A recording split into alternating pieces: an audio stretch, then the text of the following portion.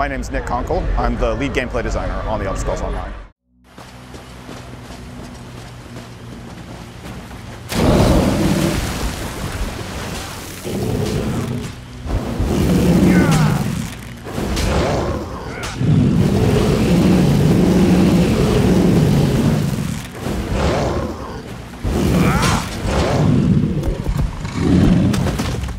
Here at E3, we're both showing off the latest build of the PC version of the game, as well as you know, talking more about our announcement that we're releasing on console.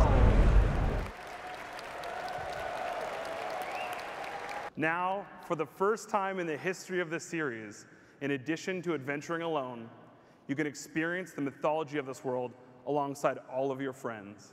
We are excited to announce that the Elder Scrolls Online will have a beta that will be exclusively available first on PlayStation 4.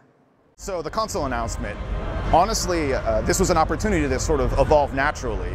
From the very beginning, we knew we wanted to uh, do something with this game that was a little more uh, like a modern RPG, with a clean interface, you know, not throwing numbers on your face, not having you look at your hotbar and activate abilities as they're coming off cooldowns but instead something that's immersive and, and, real. And that's really in line with what you do in, in console RPGs and, and, modern console RPGs. So uh, it was sort of a, a, fortunate turn of events that uh, the technology and the, and the consoles themselves came out at the time they did uh, to, to allow us to port the game that we already had over quite seamlessly. Uh, so the main reason why we, we couldn't do it on every console is time. We had to make certain decisions in development uh, about trying to get the game to you know, the people you want to and as fast as you can. And technology is a factor, but time is probably the biggest one. You know, we, we can only do so much in the time we have, and consoles plus PC plus Mac felt like something we could really we could really nail and, and people would get excited about. We're not talking too much about the control scheme right now, but I will tell you, uh, it's not as different as you think, especially for anyone who's played the PC ports of Skyrim. Uh, there's a certain mapping that happens there. We had a limited hotbar from the beginning. It isn't you have 36 different spells and you know by pressing shift F7 you cast a specific spell. It's it's really you have to make a small selection, six of them, and and determine your character based on what you currently have available to you on your shortcut bar, and that really goes along well with the limited button scheme of a, of a console. So it, it's pretty easy as it turns out. We didn't have to change the gameplay or the controls very much.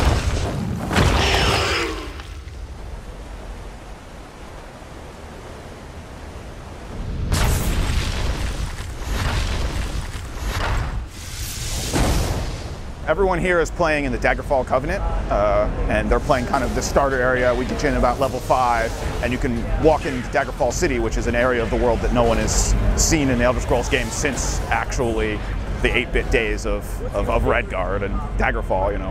Uh, so it's pretty exciting for people to get a chance to see some different parts of the world. And the control scheme should be very familiar to anyone who's played any previous Elder Scrolls game.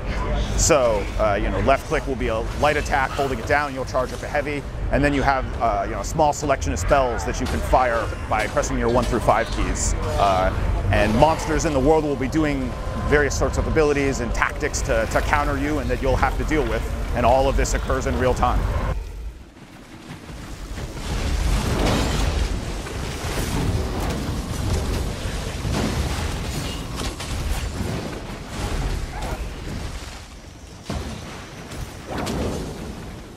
The game comes out spring 2014 for PC, Xbox One, PlayStation 4, and the Mac.